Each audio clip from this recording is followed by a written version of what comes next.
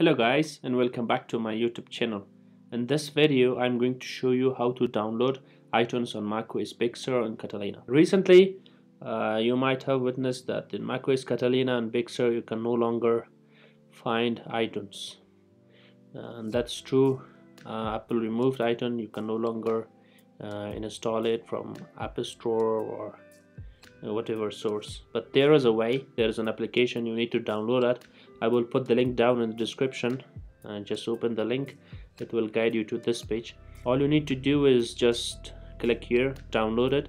I have already uh, downloaded this one. It's around uh, 39 MB so it's gonna take some time. Uh, then let's open the application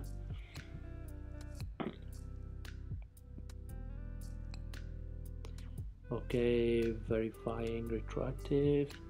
Because this application is not verified so what you're gonna do is just go to system preferences uh, come to security and privacy here this one. Just click open anyway it was the request for a password. No it didn't request for a password great. So as you can see this is the retroactive application. Uh, we have opened this one you can download these uh, install these applications. So you want to go for the iTunes uh, but please uh, do keep in mind that you can install iTunes only up to version 12.9 so if you want to install some older versions you can do so. Uh, this is the latest version so I will go with this one. Click continue. It will ask you to authenticate it first. It will ask for your password. To type your password so yeah it's it will start downloading. This will take time because uh, I think iTunes is around 250 or 300 MB something around that. So I will skip all these phases. When the, download is done uh, I will show you what to do next. So guys as you can see the download is complete.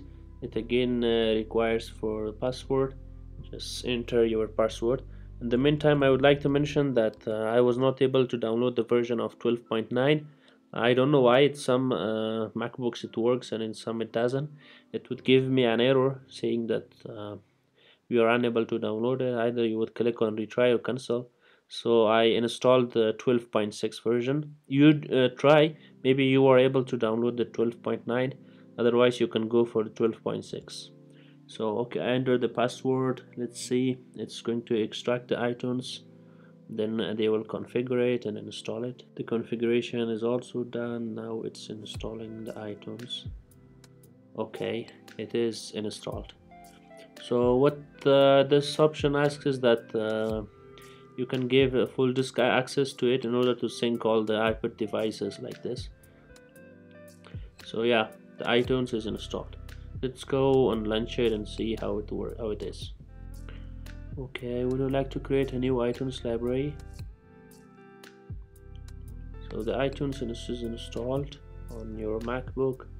You can use it uh, as you was using it previously. But uh, I would like to point out okay a few things um, that uh, as you know that MacBook is no uh, Apple is no longer supporting iTunes so you might face any issues with the iTunes Apple is not there to support you anymore.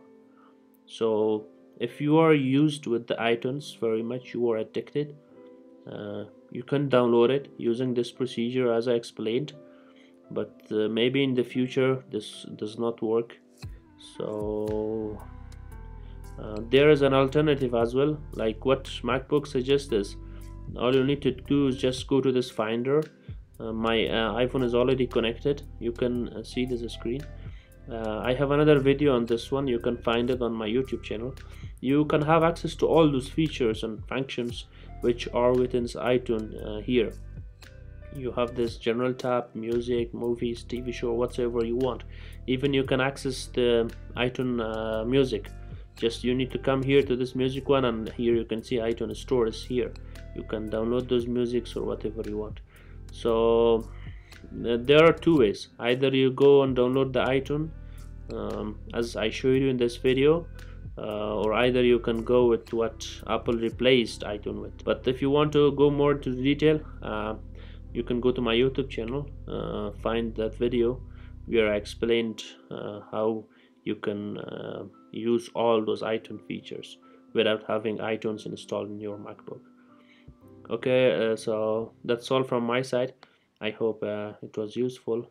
Uh, do like the video and if you have any question put it down below in the comment section and uh, see you in the next video. Have a good time